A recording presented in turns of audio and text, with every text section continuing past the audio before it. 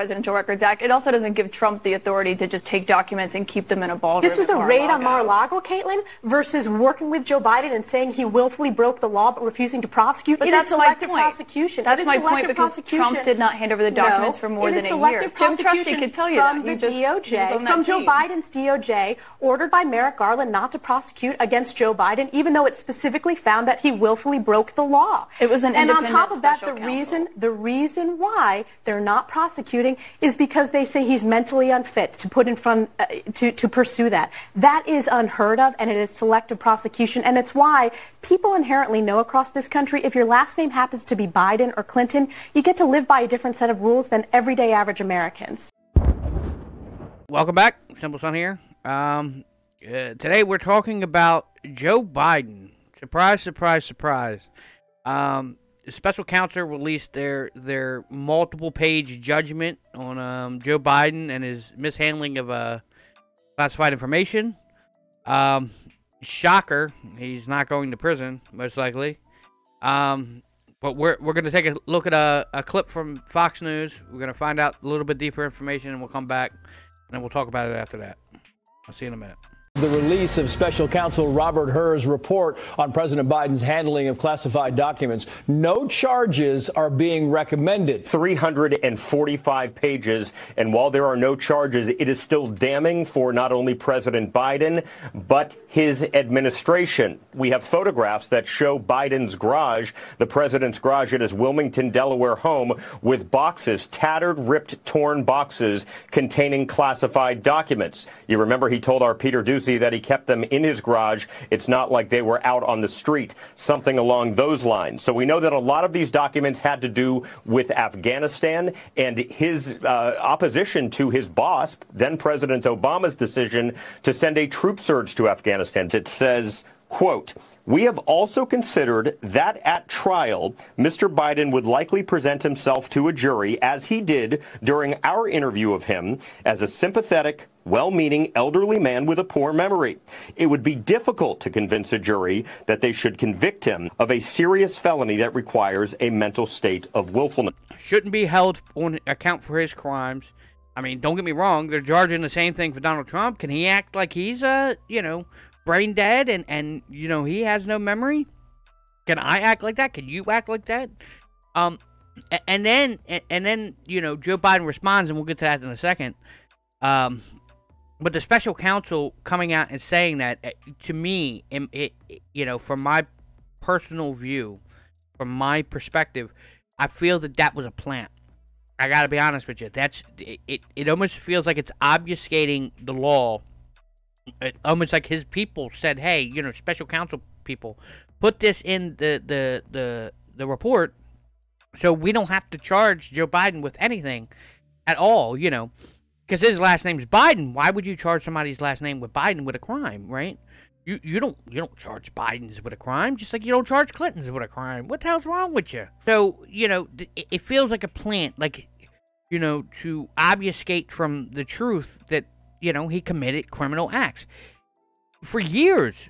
For information, he wasn't president of the United States. I want everybody to remember he was he was vice president of the United States.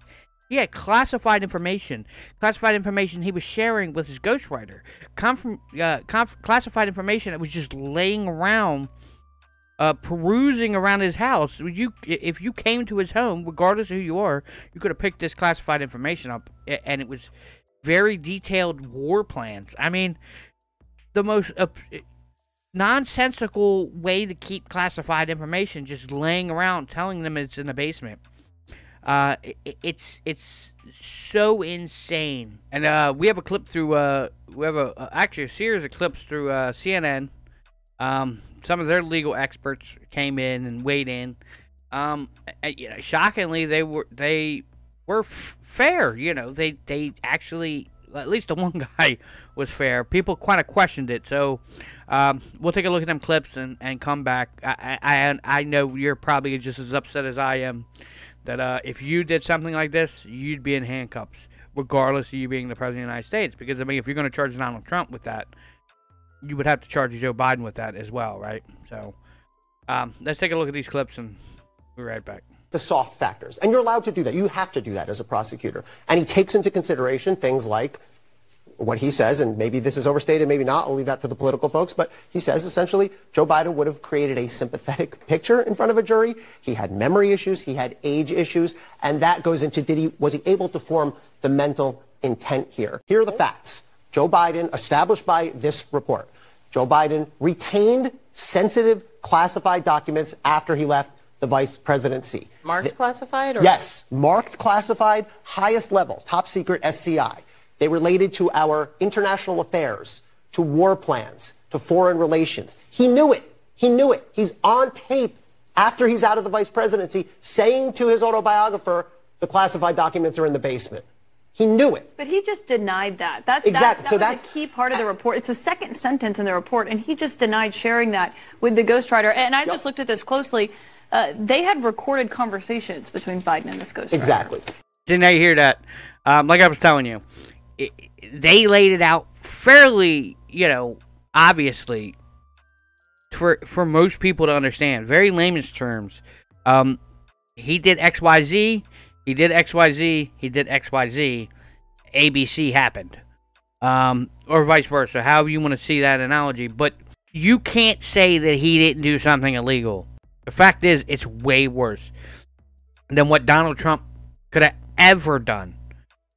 Donald Trump was the president of the United States. Again, he had the ability to declassify things. He's seen things that a vice president should never see with with exception of like very few, you know, extreme cases. Um, but he had materials that he probably shouldn't have had. Ex- and he definitely had material that he shouldn't have been just laying around his house. Um, and they laid this out. Now, you're going to say, well, what did Joe Biden say? Well, we're going to find out what Joe Biden said. We, we have a few clips for him and I guess he can explain himself. You know, I mean, he he obviously is innocent. He's innocent in all this. So how does he explain himself that you know the special counsel says he's too old to be charged with a crime? They'd be too sympathetic, even though they clearly found a crime that that committed and reached the threshold to to charge with a crime. Let's see what he has to say about it. President Biden, something the special counsel said in his report is that one of the reasons you were not charged is because, in his description, you are a well meaning elderly man with a poor memory. I'm well meaning and I'm an elderly man and I know what the hell I'm doing. I've been president. And I put this country back on its feet. I don't need his recommendation. It's How totally bad out. is your memory and can you continue as president? My memory is so bad I let you speak. That's, uh, that's, Do you that's. feel my- your memory has gotten worse, Mr. no, President? My memory is not, good. my memory is fine. My memory, take a look at what I've done since I become president. None of you thought I could pass any of the things I got passed. How'd that happen? You know, I guess I just forgot what was going on. Mr. You take responsibility for at least being careless with classified material. I take responsibility for not having seen exactly what my staff was doing. It goes in and points out things that appeared in my garage, things that came out of my home, things that were moved, were moved not by me, but my staff, but my staff. The conduct of the response in Gaza, in the Gaza Strip, has been um, over the top. I think that, uh, as you know, Initially, the president of Mexico, Sisi, did not want to open up the gate to allow humanitarian material to get in. I talked to him. I convinced him to open the gate. I talked to Bibi to open the gate on the Israeli side. As you've seen in those clips, he takes responsibility. He says, "My memory is fine." Um, you know, the the president of Mexico, you know, Sisi, the guy just happens to be named the same guy uh, that runs Egypt. He blames his his staff, his people, for what he's doing. He's, you know, that's leadership, folks. You know, when you're a leader, you know, they, the old saying is let fall downhill. He's he's doing what leaders usually do. They blame the their underlings. I don't know what you think. He should face something, or at the very least, no longer be the president of the United States because basically his mind is so warped that he can't even understand what's happening. the analogy to this would be if a prosecutor said about me, uh, this person couldn't have committed this crime. His wrist is too weak to hold a knife. And I said, wait a second here. I can hold a knife just perfectly fine. Look, I can even do a stabbing motion. That's the analogy what he just did. He just said, no, no, no, my memory is fine. I, I can I can obviously be held accountable for my crimes. Listen to the President of the United States. He he just said that. Right? I mean, I feel bad for his son, right? I feel bad for that that situation with his kid, but lots of people have struggled. Lots of people have things that, that you know, people they've lost people. They've I mean, how many people have lost, you know, their lives because of illegal border crossings, the invasion? How many people have lost their lives for a million other things? But they still have to go on. They still have to be held accountable. They still have struggle. Um, you know, again, it, it's a sad moment in in our history as the United States that our president of the United States is basically so brain dead that he can't be held competent. He, it's the first time in history that a sitting U.S. president has been could not be held accountable because of his mental status. You know, it's sad in our our our history and our future is is is I don't I don't I hate to use the word bleak, but it, it looks dark. Um, and this is on the the heels of uh, uh, Vladimir Putin's interview, where he's close to the same age as Joe Biden. I mean, he's close, but he you know he within you know mental status, he held his own for over two hours and talked. The decisions being made by his people to say and and you know even in the media to say that he's on that same level so he can go and represent us overseas which he can't right he's he's incapable of doing it any fair and honest person would say that he's incapable of representing us anymore hopefully they do you know invoke the 25th amendment for our sake for our sake he's he's his that his time has passed he is free and clear. He will not be prosecuted for his crimes, even though Donald Trump probably will be prosecuted for his. Um, it's it's time for us to think of ourselves. It's time for us to be a little bit more selfish. Um, in this country, we we have nothing. He, he, you know, his name's Biden. He walks free. Um, you're still struggling.